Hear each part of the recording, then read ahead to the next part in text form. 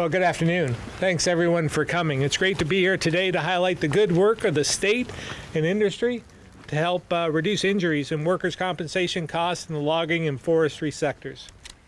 Being that our state is 78% forested, this part of the economy is incredibly important to Vermont and has a deep cultural tradition here in our state. It also means our working landscape is a significant economic engine. This is why my administration has focused on addressing marketplace and affordability challenges for our forest economy. While there's a lot more work to do, we made some important progress over the last two and a half years. Working with the legislature, many of them right here behind me, um, we enacted the right to conduct forestry operations law, as well as sales and, and use and purchase and use tax exemptions for logging equipment and uh, repair parts, which brought Vermont more in line with our neighboring states and helps uh, keep more money in the pockets of Vermonters.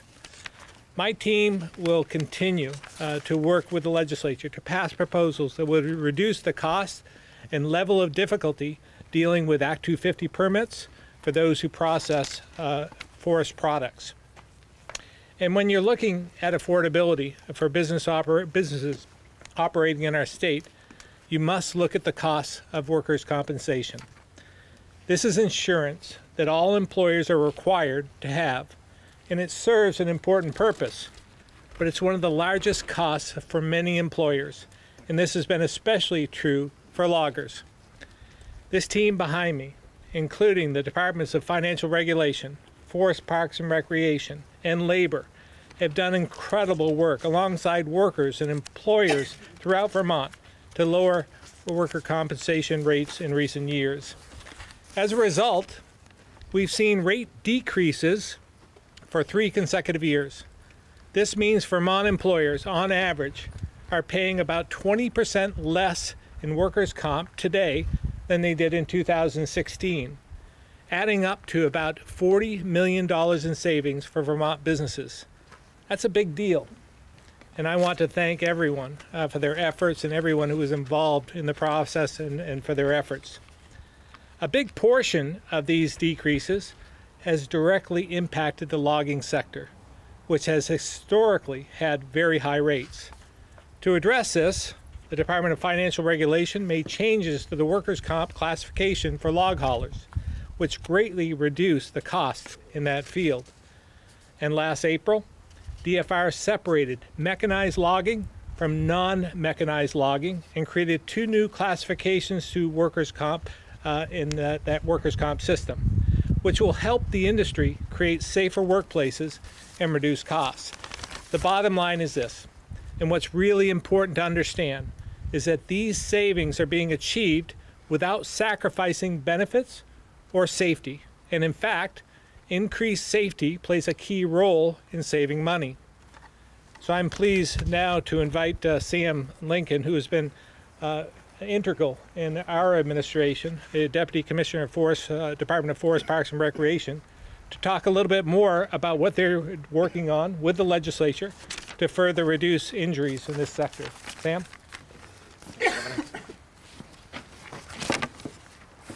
Welcome, everyone.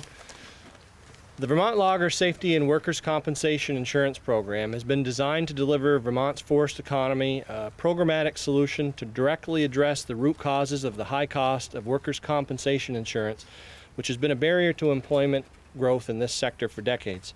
Expanding the safety training curriculum available to employers in one of the state's most dangerous occupations adding on-site loss prevention consultations to verify that safe practices have been implemented, and directly connecting those activities to lower insurance premiums has been what has proven to be sustainable, sustainable to reduce injuries and costs in other states and countries. This program will also address the serious issue of insurance avoidance, which limits the size of the insured pool over which the risk can be spread. We have developed guidance specifically for landowners and consulting foresters so they can determine that the logger working in their forest is properly insured or exempted from workers' compensation insurance. This will help level the playing field in the forest economy both in state and regionally. because there's a great disparity in the cost of doing business between an insured and uninsured logging operation. But that lower cost of doing business can come at the risk of an employee's well-being.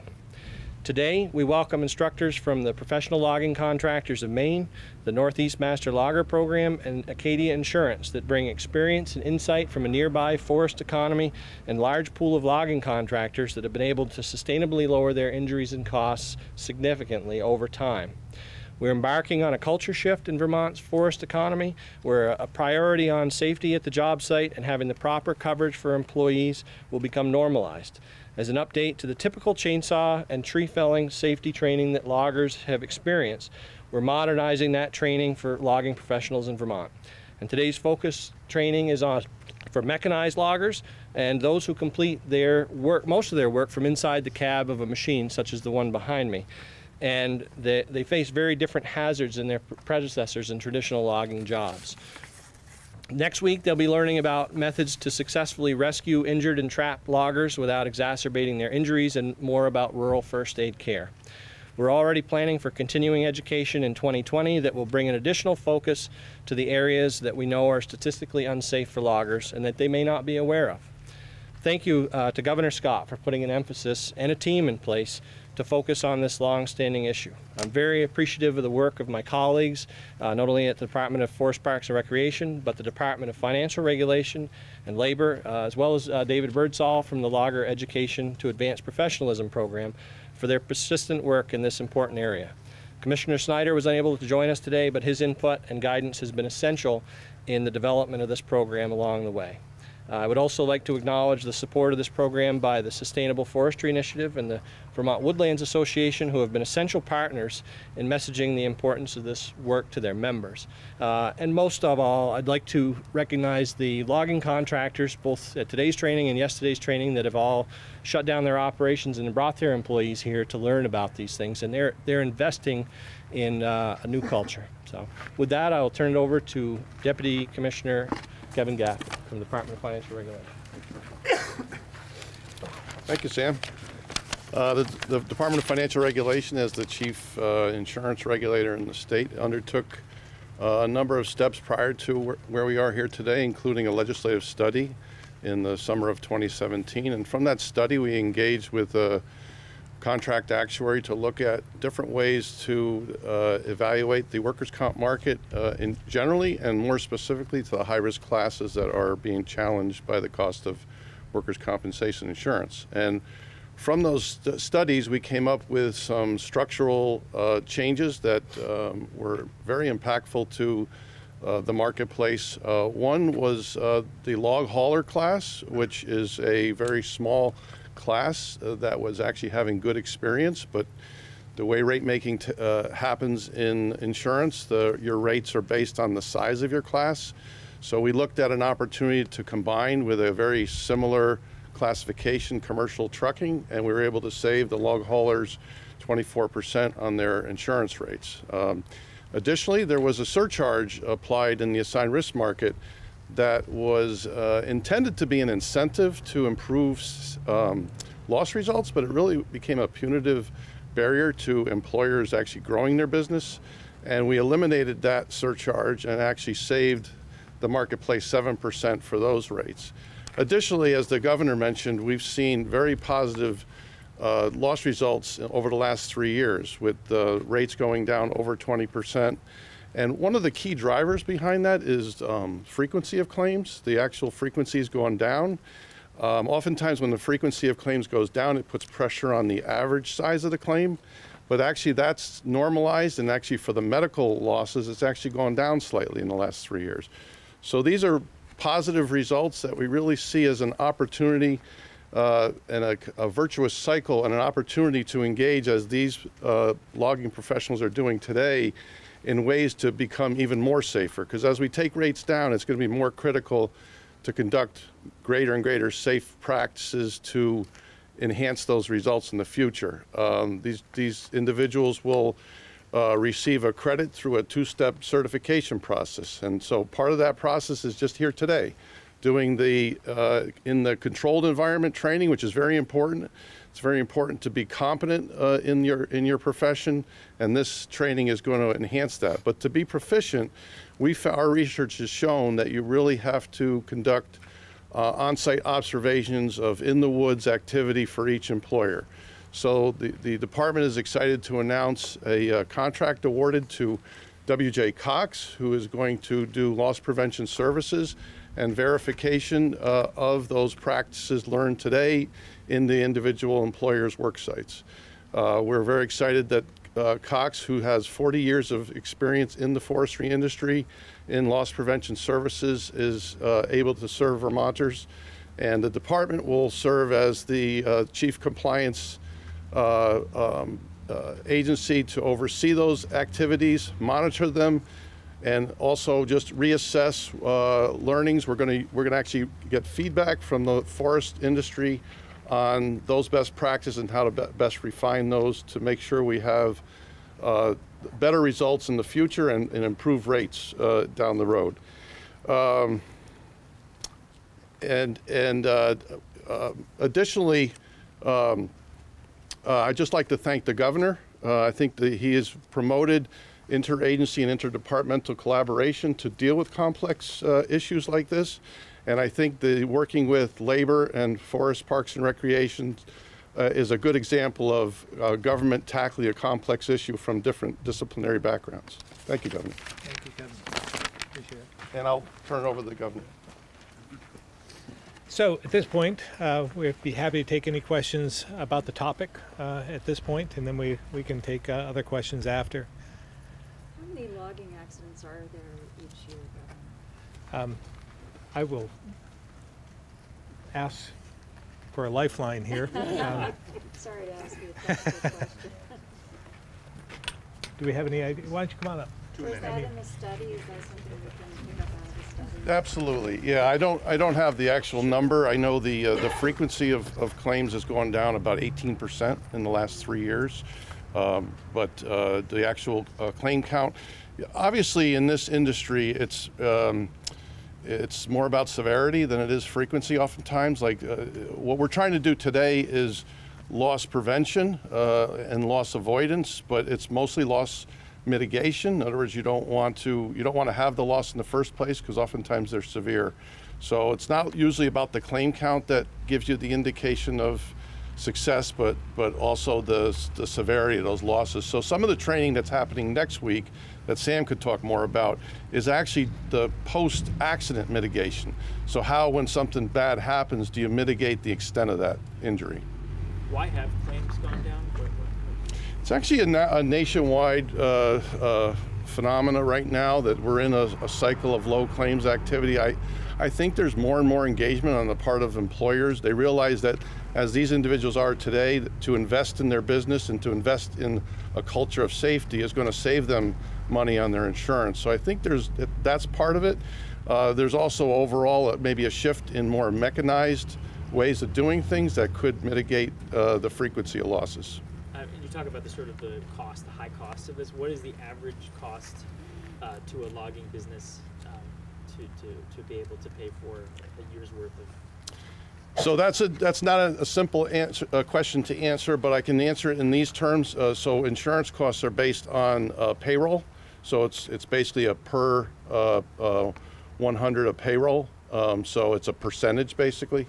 So for uh, mechanized loggers, that that can run anywhere from 15 to 16 percent of payroll, and for non-mechanized loggers, uh, 36 percent of payroll. Um, on, uh, some more good news early next year will be that we have seen these trends continue. And we're just received rates for the 2020 rate filing. They're not going to be uh, vetted or official to the end of the year, but they are showing continued improvement in those areas. So we expect to see those rates go down even more substantially, perhaps, than in the prior three years. How many people work in logging in this state? Roughly. Uh, It's it's uh, in the in the high hundreds. It's there's no particular way that they're all counted at once, but we estimate it's in the high hundreds to as many as, as uh, the last uh, the 2013 numbers I think showed a little around a thousand uh, people employed in logging in the state, Give or take. roughly, give or take. And that includes arborists and people like that, or is it just? Well, that would just be loggers. Just loggers, okay. And, Do you have any average cost for, per employee for the application of the, um, of the insurance? Uh, of the, uh, for somebody gets hurt? What, what's the average? The cost average claim, the average, the average Not- claim, Not the claim, the, uh, the average, cl- premium. the premium is, is that percent of payroll. Oh, So it's either that 16 or 36% of payroll. A And year ago, it was about twenty-four. I paid twenty-four percent for trucking and logging. Right. And it has gone down some, which is a step in the right direction. I'd like to reiterate one thing that Sam said is why don't you the come on, come on up here? the size of, Come on up. the size of the pool is in direct correlation to what we pay for insurance. So that if, if you have about ten people in the insur, being insured compared to, I think they said in Maine it was twelve hundred, it definitely makes a huge difference in what we pay. And, and twenty-five percent, that means that every hundred dollars, twenty-five dollars had to go to workman's comp. Um, is anyone allowed to opt out? maybe if you're a single person or a family, y- you got to have workman's comp theoretically, but that's the biggest problem in this state is very, what percentage of the loggers have workman's comp, Sam? There's, uh, there's, uh, the last numbers we have, there were about 70 businesses and 70 employers in the state that had workers' compensation insurance. Uh, officers of a corporation can exempt themselves. Uh, sole proprietors in Vermont are allowed to exempt themselves from workers' compensation insurance. That's in any business though, In not any just in the logging, right. in the trade. So, um, and so we've developed this guidance that asks landowners essentially to, to uh, ask for a list for, of uh, when someone's going to log on their land, that they ask for a list of who's there and uh, whether they're covered or exempted. Uh, and we've backed that up with with with uh, um, s- what what state law requires. So.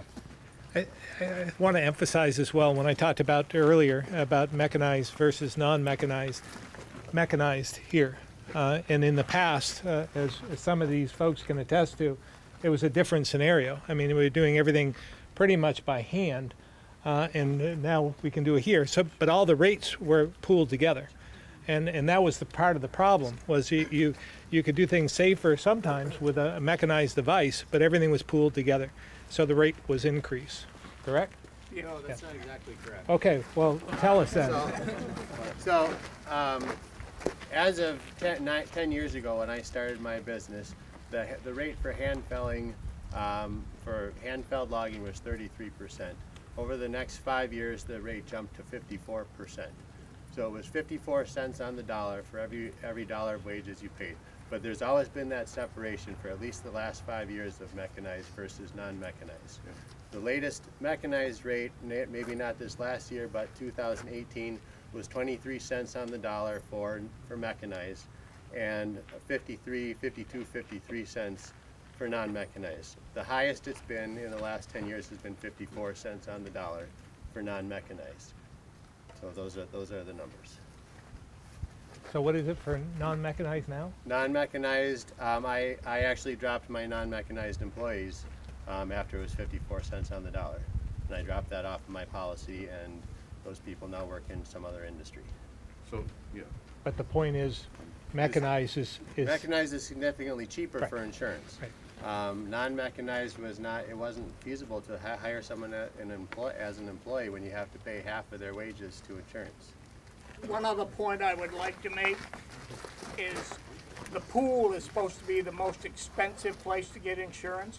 But if an insurance company would take you, you couldn't get put in the pool and you could be paying twenty percent more through an insurance company and the pool was cheaper, but you couldn't get in it as long as you was accepted with some other insurance company. Other questions on topic. Um, I just want to reiterate something. So if I heard correctly, if you're non-mechanized, you're paying more than half, 50 cents on a dollar for your, Could, right? Yeah, the non-mechanized rate that was referenced earlier, the 54, was that number five years ago. five years ago. Okay. And right now, we're at 36, and we expect that number to be, to have a different first number uh, in the- in the 2020 filing. So we made significant progress in in that area, and uh, Uh, The mechanized always has had a lower because of the nature of that work. It has other risks from an insurance standpoint in terms of equipment and other non-workers' comp related issues. But the trend line has changed both as a consequence of regulatory reform and fewer claims and better safety. Yes, absolutely, absolutely. We're, we're looking at, uh, Vermont's always going to have a, a scale uh, question, but I think we're looking at a way to recognize and credit employers that have had good experience over long periods of time, even though they're small, and to give that experience greater weight than we had traditionally in the past. Yeah. What do you have to Uh, say Obviously, and I- I'm just talking uh, from someone that is seeing this uh, from the same perspective uh, as you. I mean, I'm not on the inside. I don't know all the inner workings of what's what's happening, um, but it sure uh, seems as though it's becoming uh, more politicized on both sides, uh, which is unfortunate. What I'd like to see uh, during this process is, first, I think I think there is a responsibility of Congress to take a vote on this, and and let us know what they think, and then move forward from there. Um, as well, I think that the process should be transparent. I said that uh, in my earlier statement. I believe that we should be able to hear uh, what's happening in the hearings. Uh, and, and, and I'm not sure that we're seeing that now. And I'm a little confused now because I thought Congress was uh, on a two week break. Uh, but I don't know if they're having hearings now or they're not having hearings. So, from my perspective, just more transparency. Make sure that we hear everything they hear. Um, obviously, this whistleblower um, considerations, and, and that's not going to be as tra- transparent as, and it probably shouldn't be. Um, but at the same time, we just like to hear what's going on. So, so let me see if I understand what you're saying. Is it fair to say that you're criticizing Democrats for not making the process more transparent? But I, is that is that Well, fair? don't, I'm not. I'm and, not. I'm and not. I have uh, a follow yeah. up on that. Yeah, I, I'm not. I'm not criticizing uh, Democrats for doing this. I'm, I'm criticizing Congress. Okay. Um, and I think that Congress should be more transparent. That's what we want uh, throughout this right, but none of process. the Republicans in the House are interested in this process. Well, I, I don't know. I, I'm not sure. So take a vote. Um, take a vote and see whether we should move forward. And I'll put everybody uh, on the spot, and let's see where they where they come out, and then we'll know for sure, right? I see. And what do you think about um, the fact that the president has refused to let White House officials testify in any way? Again, more gamemanship. Uh, I just want the facts. Yeah. So you think the president I think should, everyone- allow, should should insist that Pompeo and others testify? I think everyone should should come forward, uh, get the facts on the table, and uh, then see where that takes us from there. But I think that everyone should should um, i- i- take a vote, um, move forward with this inquiry, uh, and then get the facts on the table. And you've shared your views with President Trump? I have uh, not yet, have not uh, had a, uh, an Are there, opportunity. are there any other GOP officials who have expressed some? I have not views? spoken to anyone else about this. Uh, Yeah. There are some Republicans, not many, like Susan Collins, like Mitt Romney, who, especially after the China thing, which, you know, he said uh, on camera, inviting now a second government to get involved. Um, does that change anything for you? Uh, does it seem, as they put it, appalling and wrong? Does, does it strike you that way? Well, I don't know if it changes anything for me. I think I was uh, clear in uh, believing that we should move forward. I think that there should be a vote on the inquiry, move forward, uh, have uh, an investigation to see if if, uh, if the charges, the allegations rise to the level of impeachment, and then move from there. Well, do you think they have enough to impeach I have now? no idea. I mean, I, I, I, I don't know. Um, again, this is a political process. It's probably not a legal process, more of a political process. And, uh, and I believe that uh, we as, as citizens uh, deserve to hear what's going on, and then we might be able to make our own determination. But I'm not sure that we're hearing everything uh, that's happening, and that's why it's important, again, to be transparent, have a vote, move forward with the inquiry if that's what the vote, um, and it appears that they, they have enough votes for that, move forward with that, and then have uh, the inquiry uh, to see if the, the charges, the allegations rise to that level, and then go from there. Would you rather that we just, we have an election in 13 months, settle it then? I don't think um, that that impeachment, an impe- I, I hope uh, that they don't, uh, that the allegations do not rise to the level of impeachment, uh, because I don't believe it's good for the country. Uh, we uh, we have enough polarization as it is right now. Uh, we have enough disruption in our country, and I'd like to focus. Uh, I'd like for Congress to be able to focus on other other things that really matter. And not that this doesn't matter, but you know we have the the USMCA, um, the uh, that uh, that trade agreement uh, that's on the table that should be dealt with. I mean, this is something that would benefit Vermont and benefit most of the country. And Canada has agreed, uh, Mexico has agreed. We should ratify it. We should move forward on that. We should we should upgrade our our immigration policy. You know, this is something that that we're all dealing with in some way. So let's let's work on that. So there are other areas uh, as well that need attention, and I'm hoping uh, that we can move beyond this, uh, and then uh, and then focus on the uh, the issues at hand. But it seems like, isn't it a chicken or egg thing? I mean, Congress, it would appear, hasn't moved forward on impeachment because they don't feel like they have enough information. So where do you, Well, you know, where do you draw do the line? do the inquiry. Uh-huh. You know, I, I Okay. You know I, I So it seems like they're doing that. put people on. Well, I don't know if they are or not. Right? Yeah. I, I I I haven't see. I haven't I don't know if you've seen any of the hearings uh, that they've conducted. I mean, they're they are interviewing witnesses. I mean, what do you want to see that isn't Well, happening? wanna- have you you have you public heard what they've said? well, but there, the- yeah, there have been some public um, Some. But part of this has some. to do with the president, and he doesn't want people to be in a public hearing. And they're trying to negotiate with him to get Well, information. Well, again, I I think Right. everyone should be on the record, Uh-huh. and then we should we should make that determination ourselves, right? Mm-hmm. We we should hear what's going on, so we can we can come to our own conclusions, and they can come to theirs. um, the ACLU yesterday came out with a big slew of recommendations for reducing the prison population in Vermont, and two of the ones, the things that they want, sort of, they see as the most reasonable to be taken up in 2020 are parole sort of reform, um, and looking at bail and the elimination of cash bail. Um, we've talked about this a lot in the past. Is there anything? I don't know if you've have you read that report first of all. I just heard, uh, you know, just the surface. Um, and is I think there I, I think I heard something about, and maybe I'm wrong on this, but something about uh, uh, reducing the population by about 50 percent, uh, which would be fairly dramatic. It's fifty percent from what it was in two thousand and nine, so Oh, it'd is be that like what it is? five hundred more inmates. But um, I mean, is that something that you want to do? Do you want to reduce the population? If so, how?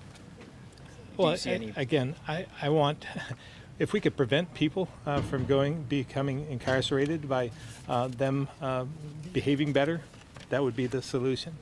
Um, having said that, we took a, a lot of steps when I was in the legislature in 2009. Uh, reducing the, the population by 500 was dramatic. We've we've taken a lot of steps that other states have not. Uh, so we've done a lot of that work. Um, so I'm not sure um, what, and I'm sure we can always improve, uh, and more than willing to take a look case by case uh, on on who is incarcerated that shouldn't be, uh, and and where we go from there. Uh, but I would say uh, the majority of those incarcerated now are serious offenders, felon, felons, and and I I would be I would be remiss if I didn't say that I'm not sure who uh, if if you were if you were to reduce the population, who's it going to be? What about people who are being detained pre-trial, um, who you know can't afford to make bail, or people who are readmitted on a parole violation? Those are two things they think maybe there could be some consensus on. You know, not incarcerating for those sorts of uh, violations. Well, certainly can have the conversation, uh, but I don't know what it really means. The details do matter, and, and I'm sure that we'll have this conversation uh, in this legislative session, and, and then come to some conclusion. But um, but again, from from my standpoint, I want to make sure public safety is uh, of utmost concern to me, uh, protecting victims, protecting the general public, uh, and making sure that we don't uh, we don't take we don't have a ripple effect, and, and that we, we do this carefully. Governor, we've had several stories, one that we published and then one that came from the Valley News about uh, the Defender General's office and lack of funding for defense attorneys and the number of people who are being detained for a very long time because their cases have not been brought forward.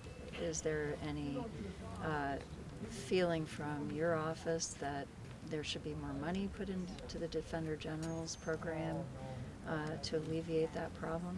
Well, uh, the Defender General uh, obviously uh, is is free to, to, to come and uh, make their proposals and, and what it would cost. I'm not sure uh, what uh, what the answer is, uh, but uh, but we'll have that conversation. I'm sure uh, when we talk about our budgets in, in January. So um, I invite the Defender General to come forward and and, and talk to us about uh, what his plans are and, and what uh, what the needs are. We had some rather uh, stunning violence in Rutland yesterday morning. Uh, what, is your takeaway at this point, uh, knowing that not all of the facts are out, but uh, what do you think? Yeah, um, tragic event, uh, obviously, uh, for those uh, in Rutland, for those uh, family members involved. I, I'm very thankful that no one, um, no one was hurt um, from the law enforcement perspective, and and just, I guess it reinforces the fact uh, that. Um, it appears that some of this could be drug related. We're not sure at this point. The investigation is ongoing, um, but uh, but no one is left untouched, uh, no matter what family you you belong to. Uh, and it's something that uh, we still uh, continue to have a lot of work to do uh, in terms of uh, trying to to overcome that. Even if you're the son of a mayor. Absolutely. Governor, on Monday, uh, Burlington City Councilors approved a proposal that would uh, allow non-U.S. citizens to vote. Um, legislature will be considering Montpelier's charter change. Could you just kind of refresh us on where you stand on that idea? Yeah, I mean, uh, my thoughts haven't changed uh, since the vote in in uh, in uh, Burlington. Um, I did read the statement from one. There was two two councilors that voted against the proposal. Uh, I tend to agree with both of them. Um, that, um, but we need to, to really, really be careful as we move forward with anything like this. Uh, and for the reasons I stated before, whether it's a, a registry, the unintended consequences of having some sort of registry at that point, uh, which we fought against uh, over the last two or three years, as you might might recall.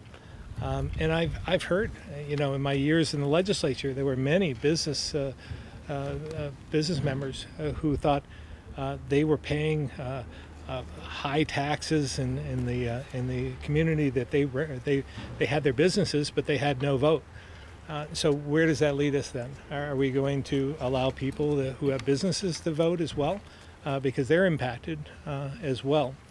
And I, it just hits me uh, as being, I don't know if it, it just it just hits me as, as not being right. Um, that you know we uh, there's an obligation as citizens to vote. I think we should be focusing on trying to get more people to vote uh, that uh, that have that privilege, uh, and we uh, we we uh, we're not doing a very good job of that when you see the numbers. To be honest with you, on the local level in particular, but but I'm sure this will be taken up by the legislature. They um, they had the proposal from Montpelier. Now they'll have the proposal from Burlington, and we'll see where we go from here. But you're a no. I, I'm yeah, I'm not in favor uh, uh, at this point in time. My feelings haven't changed. the class of 2020, they're uh, the first ones. Um, they're going graduating with profic- proficiency-based grading. They don't get A, B, C, or D. They get basically a pass or fail. Um, we're speaking with students, and they are applying to schools, and they're saying that colleges and universities across the country don't really understand the system. So some of these students feel like they're put at a disadvantage.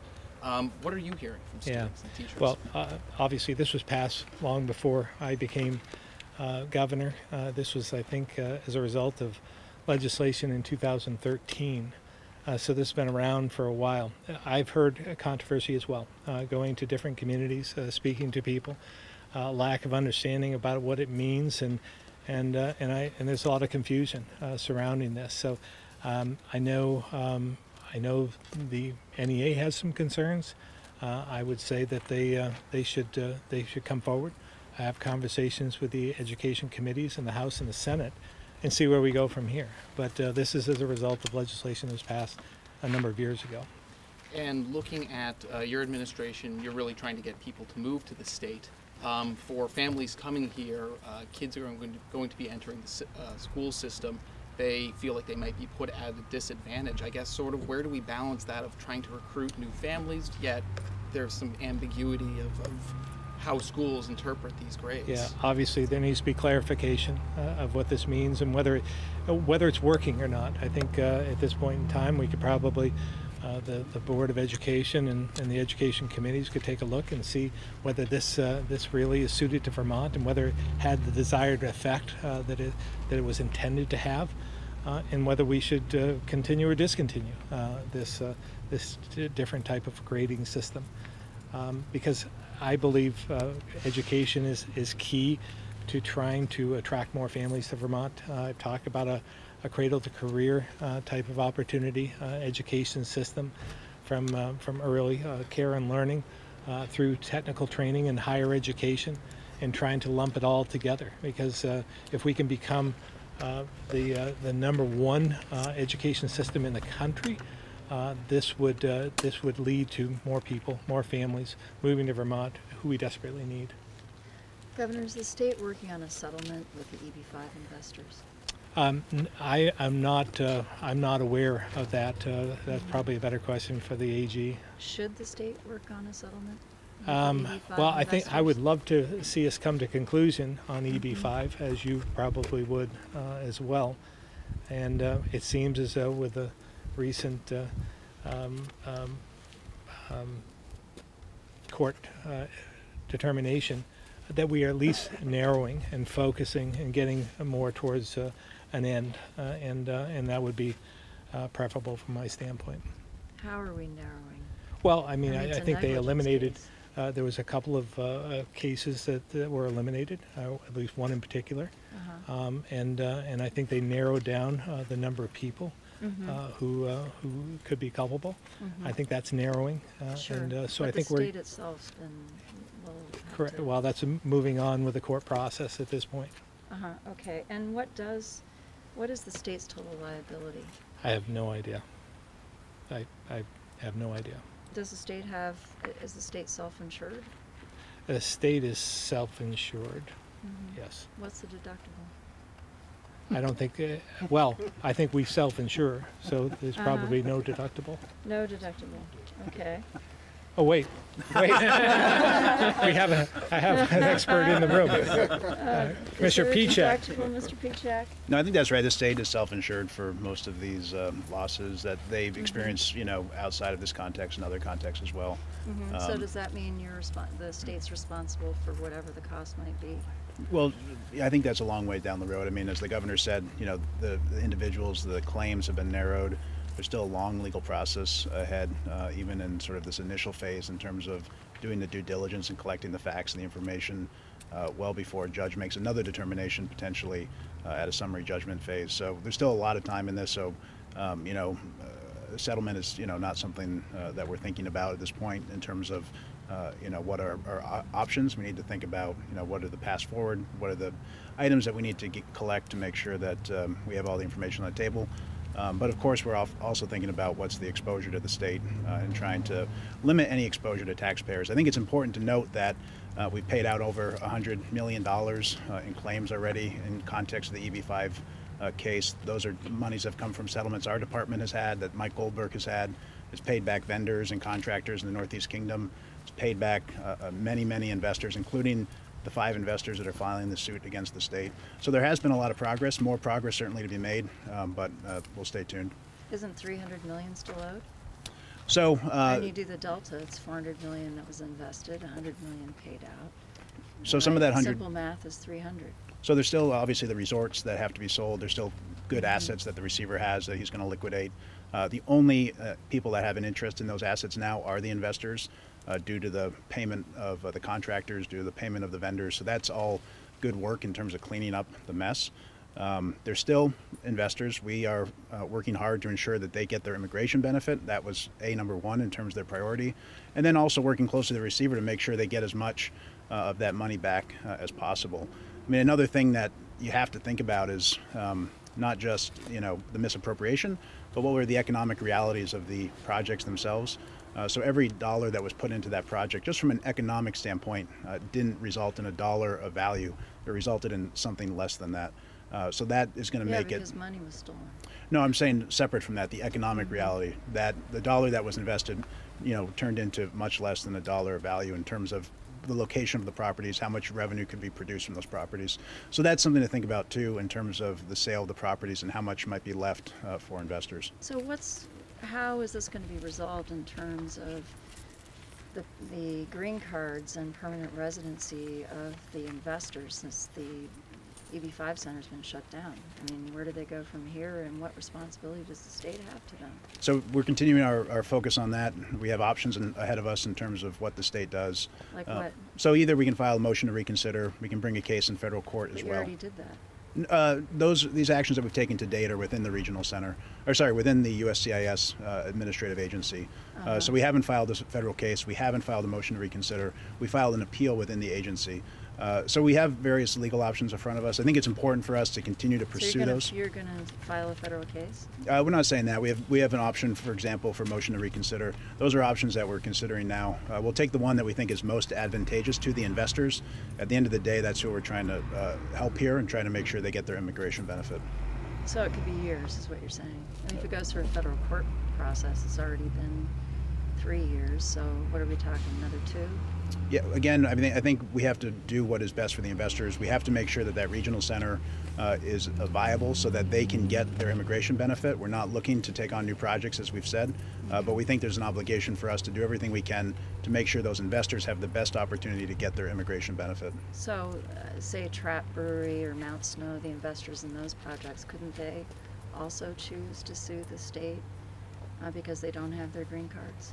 You know, there's everyone has options in front of them. We're all right now uh, working together on this collaboratively, and that's the uh, path that we plan to take going Who's forward. all working collaboratively? the projects, the investors, you know, we all have the same interests here. Uh, so we're trying to work collectively to make sure USCIS understands the impact that it will have on, on these individuals, uh, the potential impact on the projects, um, and that's, you know, most important to us.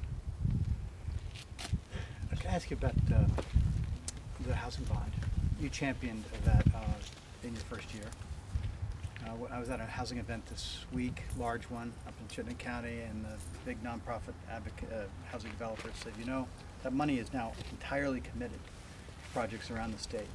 And we are now, in the next few months, going to go back to where we were, which is a trickle of affordable housing construction. Um, that sounded like an opening for housing bond number two.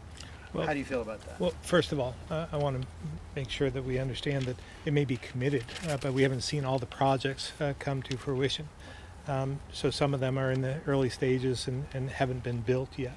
So we're not at the end of the line in, in some respects. Uh, the second part, I don't mind talking uh, about another uh, bonding uh, opportunity, but we do have to, to be concerned about our overall debt uh, and what this means. The Debt Affordability Committee, the treasurer has to be involved, and at this point in time, I'm not sure that we want any more debt. But we can have the conversation uh, at some point, but I'm not sure that it's right now. So it won't be in your, in your uh, 2020 inaugural? Um, we'll see. We'll see. You never know. Governor, are you going to investigate whether any EB5 records are missing at the Agency of Digital Service? Um, I'm concerned uh, about any records missing, um, and uh, and but I'm not uh, quite sure uh, where we go from here. Uh, to be honest with you, if they don't exist, I'm not sure Yeah, where they are. computing suggested that an investigation should be conducted. Are you going to do that? Um, again, I, I haven't consulted with our, our CIO or, and ADS on this uh, in terms of whether investigation uh, is appropriate and whether we would, it would, it would be helpful. But, but again, I'm more than willing to have the conversation with our, with our Secretary of uh, ADS on this. Okay, so when are you going to have that conversation? Um, pr- probably in the next month or so. Mhm.